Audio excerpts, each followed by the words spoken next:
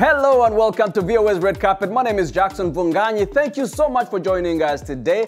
On this episode of Red Carpet, artist Ayana V. Jackson takes us behind her futuristic exhibition from the deep. And Malawian artist Zeze Kingston's Amapiano Fusion is making waves in the Southern African country and beyond. Let's get on with the show. And let's start the show with some highlights of the latest entertainment news from around the world. And some music news, Nigerian Afrobeat singer Simi has been officially announced as a special guest on superstar Alicia Keys' US tour.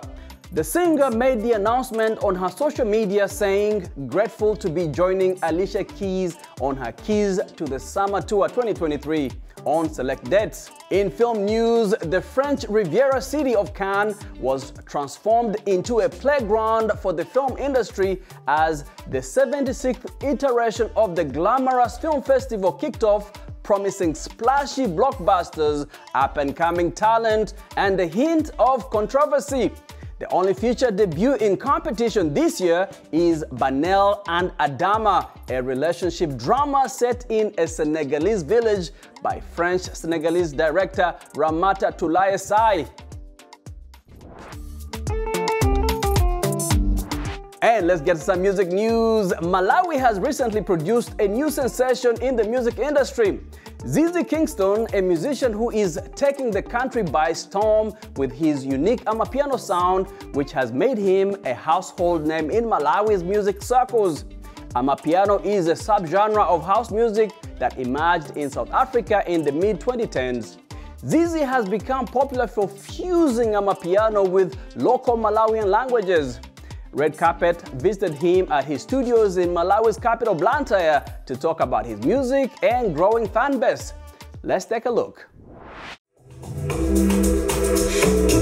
Zeze Kingston started his musical career at a young age and has been working tirelessly to make a name for himself in Malawi's industry. When I was really young, but I couldn't stand people singing on a like, you know, on an off-key note. Yeah, I that time I didn't even know what what key or note is, you know, but I was being irritated and then I stopped going to choir. Zeze started learning music from his uncle, a popular musician and founder of the local band known as the Daredevils Band. It was at the uncle's studio that Zeze honed his craft, showcasing his talent singing with the band. His dedication and hard work have paid off now one of the most celebrated and booked musicians in Malawi. His music, including his latest Chule, has dominated local radio and TV playlists and streaming platforms like Apple Music. I've always known it was going to happen. I just didn't know when, you know? And for the fact that I didn't know when, I've always known I'm a good, I'm a good creative in music. The people around me have always known that his growing fame has taken him to international stages, including a recent performance in South Africa. At some point, I was like in top 10 most listened to artists in Africa on Boomplay. And this is not so long ago. So, like, like I'm, I'm like, we have now international artists asking us for like collaborations and stuff like that. So that's great. And also we have international bookings.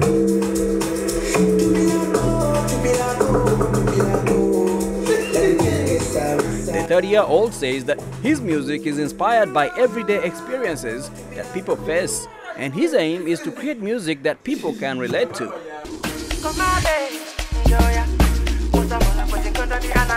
Although Zeze sings other genres like trap music, Afrobeat and hip-hop music, he believes that Amapiano is a powerful tool that can be used to inspire change and bring people together in harmony. Amapiano is the genre that literally changed my life, you know, because it matches my vibe, it matches like my spirit, like, you know, because I like to see people happy, I like to make people happy, I like to dance, I like to see people, you know, in those vibes. And you know, by God's grace, Amapiano come out, and through Amapiano now people are, I'm able to connect with people. Zeze's fame has also helped promote the names of those he has worked closely with, like 26-year-old music producer Samuel Nyasulu, aka Lomas. It is advancing my things because I'm getting recognition from different people that we're not connected. You get, you understand? So it's been so crazy, very much. Zeze stays and operates from Amaryllis Hotel in Blantyre, where some of his fans, Winnie Shower and Mai Ntajili, work. Uh, actually, I love Amapiano. So him being the Amapiano hit maker, uh, automatically I ended up falling in love with him. Um, I'm, I'm expecting more hits from him. Yeah, and even um, I will not be surprised when he reaches international.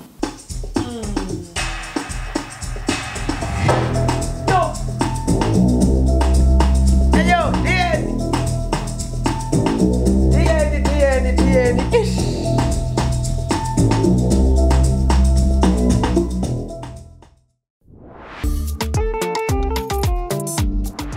let's take a look at some art news. In Washington, a groundbreaking exhibition is exploring the myth of Drexciya, an underwater kingdom for enslaved people who died in the Atlantic. From the Deep in the work of Drexciya with Ayana V. Jackson is the first monographic museum exhibition of the artist who uses photography, video, and sound to create an immersive and feminist aquatopia. VOA's Kali Abdu spoke to Jackson about her inspiration and process. Here is more. Ayana V. Jackson is an artist who challenges the racialization and sexualization of black bodies in her work. She was inspired by Drexciya, a Detroit based techno duo who imagined an underwater world populated by the children of pregnant women who were thrown overboard or jumped voluntarily during the transatlantic slave trade.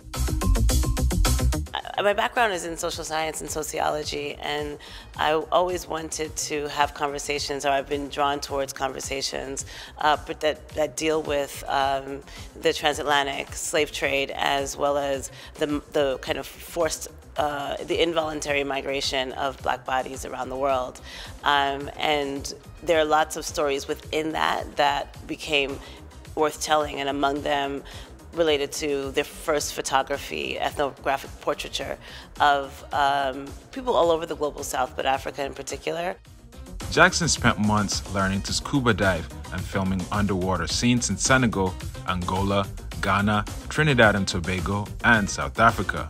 She collaborated with local designers and musicians to create costumes and soundscapes that evoke water spirits and cultures. One of the most proud things I'm most proud of in this exhibition is that um, while it is my first um, solo institutional exhibition in a museum, um, it's actually not exactly a solo. It's really a series of collaborations that I've had um, with Rama Diaw, an amazing designer from Senegal, Mwambi Wasaki from Angola, Luanda, Angola, um, Robert um, Young of the Cloth in Tobago, Chedo Labanji, whose work we have behind us from Ghana.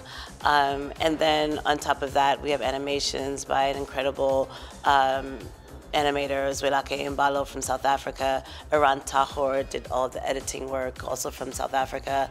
We have Mark Blaze from Zimbabwe. So, you know, this exhibition is really a series of collaborations and um, and actually empowered. I was able to work with and empower artists from all over the continent to create it. So it's really one of my proudest moments. Karen Milbourne is the curator of the exhibit. I had been following Ayana's practice and was fully aware of the technical sophistication and the intellect that she brought to thinking about how individuals of color are and have been represented and what that means. And what was exciting to me as a curator was actually joining her in the journey of not just rethinking our history, but reimagining a different world. Jackson's exhibition features photographs, videos, and an installation that immerses visitors in her vision of Drexciya. She hopes that her work will inspire people to reflect on the brutal history of slavery and its ongoing impact, but also to imagine a world of powerful, resilient women. Kali Abdul, VOA News, Washington, D.C. And in more art news, in his living room in Norway, while the TV broadcasts pictures of the violence back home in Khartoum, Khalid Albaih does what he has become known for in the Middle East and beyond, draw cartoons. Let's take a look. This the the dogfight is basically between um, the army and the Janjaweed. From his living room in Norway, Khalid Albaih is distilling the violence he's seeing unfold back home in Sudan into this cartoon. It's called The Dogfight and depicts the conflict's two main adversaries fighting over a Sudan shaped piece of meat. No one knows how this is going to end. We're stuck in the middle between, between these two monsters, really, um, in our fight for democracy. It's the kind of work he's known for across the Middle East having inked images about the 2011 Arab Spring movement, as well as wars in Syria and Yemen. He says it's strange watching the fighting play out in Khartoum. My cousin just sent a video of our house in Sudan, where bullet holes and. It's crazy to watch places that you grew up in, walked, ate, met your friends at, on TV being bombarded, and it's something that you don't wish on anyone. Um, just the thought of you might lose everything you know. To Albaih, his art is a way for him to cut through the propaganda of either camp and show there's a peaceful alternative. In Oslo, he co heads a program at a group that explores ways media can promote democracy and human rights in the Middle East. Art is needed in times like this because it's important to show people art is about you know hope art is about showing there's a different way to talk about things right and art is resistance And now to sports news. At the break of dawn, Emirati falconer Ayesha Al Mansouri drives deep into the Abu Dhabi desert with her falcons. By her side, she, along with her nine year old daughter Osha, practice the traditional sport and teach their falcons how to hunt for animals such as birds and rabbits. Here is more. This Emirati falconer drives to the desert with her daughter to teach their falcons how to hunt. Falconry has been a tradition in this area for thousands of years. Arab nomads used to survive in the desert by teaching their falcons to catch birds and rabbits. Aisha Al Mansouri is on a mission to encourage more women to take up the male dominated sport. It's a traditional sport that teaches you a lot. It teaches one patience to take advantage of opportunities and many other things. You also explore your patience and your expertise by falcons, by teaching them how to hunt. Practicing it allows you to do the sport in the desert. At home, she keeps track of her falcon's diet and logs their weight before every training.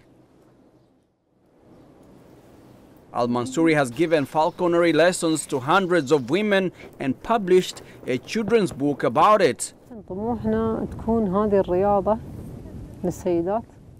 We aspire for more women to become falconers by practicing this sport and to have a sanctuary for falcons and a private center for them.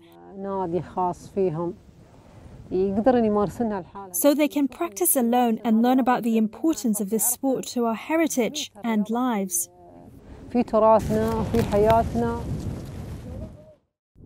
Thank you so much for watching VOA's Red Carpet. My name is Jackson Vunganyi. For more entertainment news, remember to check us out at voaafrica.com. We are also on Facebook, on Instagram, and on YouTube. Do not forget to like, to share, and to subscribe. Until next time, Goodbye, everyone.